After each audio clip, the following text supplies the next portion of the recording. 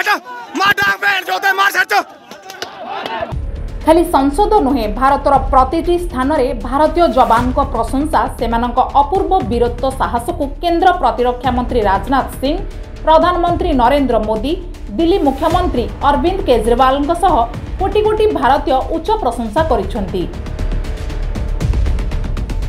ଅରୁଣାଚଳ ପ୍ରଦେଶର ବାସ୍ତବ ନିୟନ୍ତ୍ରଣ ରେଖା ନିକଟରେ ଗତ ସପ୍ତାହରେ ଭାରତ ଓ ଚୀନ ସେନା ମଧ୍ୟରେ ହୋଇଥିଲା ମୁହାଁମୁହିଁ ସଂଘର୍ଷ। ଅରୁଣାଚଳ ପ୍ରଦେଶର ତାଇବିଙ୍କ ସେକ୍ଟରର ୟାଙ୍ଗସେ ଅଞ୍ଚଳରେ ଚୀନ ସେନା ଭାରତ ସୀମା ମଧ୍ୟକୁ ଅନୁପ୍ରବେଶ ଉଦ୍ୟମ କରିଥିଲା। ସୀମା ସ୍ଥିତିରେ ପରିବର୍ତ୍ତନ ଆଣିବାକୁ ଚୀନର ପିପୁଲ୍ସ ଲିବରେସନ ଆର୍ମିର ପ୍ରାୟ ତିନିଶହ ସୈନ୍ୟ ଉଦ୍ୟମ କରିଥିଲେ। ସୀମା ସୁରକ୍ଷାରେ ମୁତୟନ ଭାରତ ସୈନ୍ୟଙ୍କ ଉପରେ ଚୀନ ସେନା ଆକ୍ରମଣ କରିଥିଲା।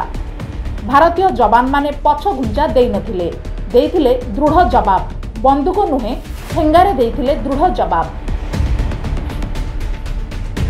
ଭାରତୀୟ ଯବାନମାନଙ୍କ ଠେଙ୍ଗା ମାଡ଼ରେ ଚୀନ ସୈନ୍ୟ ଆଗକୁ ଆଉ ବଢ଼ିପାରି ନଥିଲା। ବାଧ୍ୟ ହୋଇ ଚୀନ ସେନା ପଛକୁ ହଟିଥିଲା।